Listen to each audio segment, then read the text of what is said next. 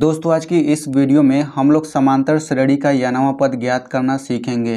यानवा पद मतलब ऐसे ही आपको सवाल दे देगा, यानी ऐसे ही आपको समांतर श्रेणी दे देगा और आपसे कहेगा कि इस समांतर श्रेणी का दसवां पद ज्ञात कीजिए या फिर ऐसे ही समांतर श्रेणी देगा और कहेगा सौवा पद ज्ञात कीजिए, एक सौ बारहवा पद ज्ञात कीजिए, ठीक है?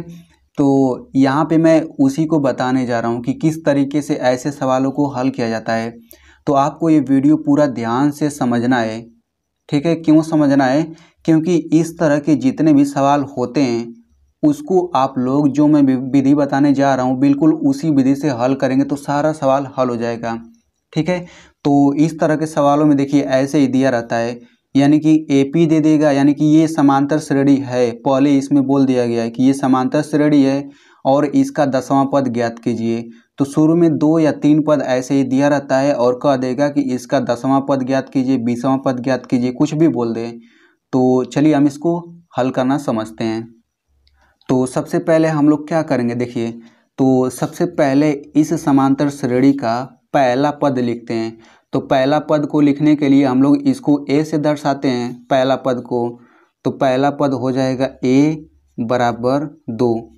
देखिए, पद जब भी शब्द प्रयोग हो तो पद का मतलब संख्या होता है, ठीक है?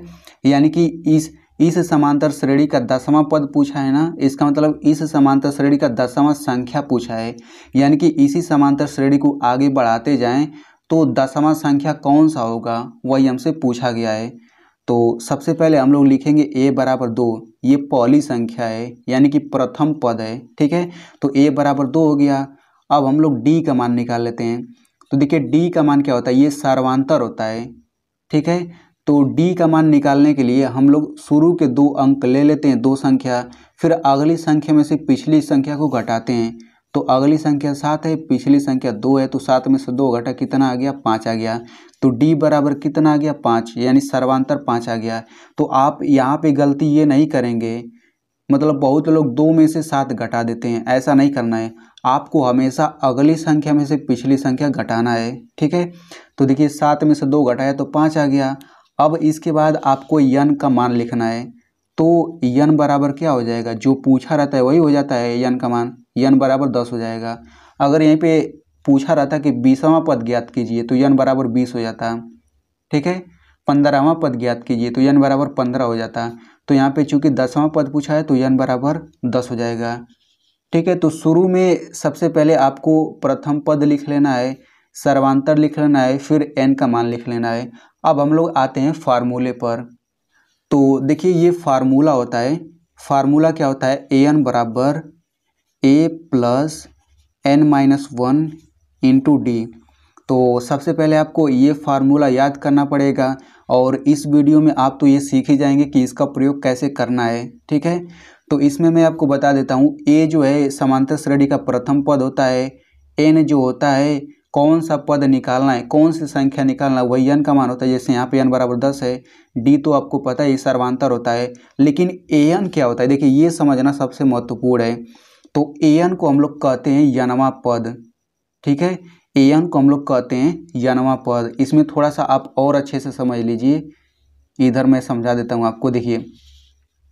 यनवा पद एन मतलब यनवा पद होता है तो यन के जगह हम बारी बारी से संख्या रख सकते हैं। तो जैसे ए एन यन बराबर अगर हम एक रखेंगे तो ये हो जाएगा ए वन ठीक है? तो ए वन का मतलब होता है कि प, प, प्रथम पद प्रथम पद या फिर पहली संख्या। तो आप लोग कहेंगे कि पहली संख्या को तो ए से दर्शाया जाता है ए से दिखाया जाता है। तो देखिए, पहली वाली संख्या को ए वन से भी दिखाया जाता है ए से भी दिखाया जाता है। दोनों ही सही है। वैसे यन बराबर दो रख दें तो ए टू हो जाएगा। यानी कि दूसरी वाली संख्या को ए टू से दर्शाते हैं।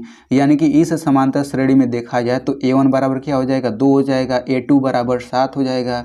अगर ए थ्री देखें तो ए थ्री बराबर बारह हो जाएगा। ठीक है?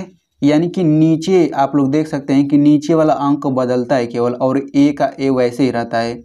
ठीक है आई होप आपको इतना समझ आ गया होगा।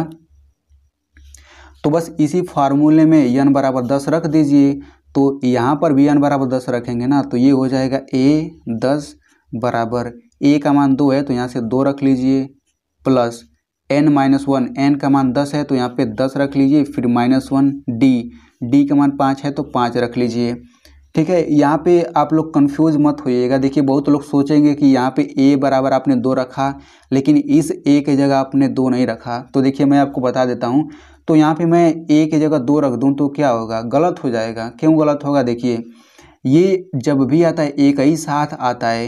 ये ए एन जो है ना, ये एक ही साथ आता है। हमेशा केवल यन का मान बदलता है। इसमें ए का मान नहीं बदलता। मतलब ए के जगह हम कोई अंक नहीं रख सकते हैं। क्योंकि इसका मतलब ही होता है यनवा पद, यनवा संख्या। जैसे ए वन बराबर हो गया, पहली वाली संख्या ए टू बराबर हो गई, दूसरी वाली संख्या। ये बस दर्शाने का तरीका है, इस ए की जगह कोई मान नहीं रखते हम लोग। जैसे ए बराबर मैंने दो अगर रख दिया तो ये कुछ इस तरीके से हो जाएगा ना। दो, वन, फिर दो का दो, फिर दो, तीन। तो ये इसका कोई मतलब है? कुछ नहीं। ऐसा कुछ भी क्या होता है? कुछ भी नहीं होता है ऐसे। ठीक है? तो ये बस दर्शाने का तरीका है। तो देखिए ए टेन मतलब ये दसवां पद हो गया, दसवां संख्या। जैसे यहाँ पे दूसरी संख्या था, ए टू था तो ए वन था तो पहली संख्या था, और ए थ्री था तो तीसरी संख्या दर्शाने का तरीका था, वैसे ही ए टेन आ गया, यानी कि दसवां संख्या आएगा। तो इसी को हल कर लेते हैं तो ये हो जाएगा दो प्लस दस में से एक घटा नौ। अब चूँकि नौ कोष्टक में आएगा ना, इस तरह से, और ये हो गया पाँच तो दो प्लस, अब इन दोनों के बीच कोई चिन्ह नहीं मतलब गुड़ा का चिन्ह है। ठीक है, जब बीच में कोई चिन्ह नहीं रहता तो गुड़ा रहता है। तो नौ गुड़ा पाँच, नौ पचे पैंतालीस हो गया और पैंतालीस में दो जोड़ेंगे कितना हो जाएगा? ये हो जाएगा सैंतालीस। यानी कि ए टेन का मान सैंतालीस हो गया। अभी ये आंसर नहीं आया है। अभी आपको इसके नीचे आपको ये लिखना पड़ेगा अच्छे से। अतः दी हुई एपी का दसवां पद सैंतालीस है। आपको ये लास्ट में लिखना पड़ेगा। अब जा कर के ये पूरी तरह से सवाल हल हो गया है। तो दोस्तों, इस वीडियो को एक लाइक कर दीजिए और अपने दोस्त के साथ ज़रूर शेयर करिएगा ताकि वो भी अच्छे से इसे समझ सकें। तो इस तरह के सवालों को हल करने के लिए बिल्कुल आपको ऐसे ही हल करना है, ठीक है? ए डी एन का मान निकाल लेना है, फिर इसी फार्मूले को याद कर लेना है और इसी फार्मूले में सबका मान रख लेना है, फिर देखिए आंसर आ जाएगा, बस।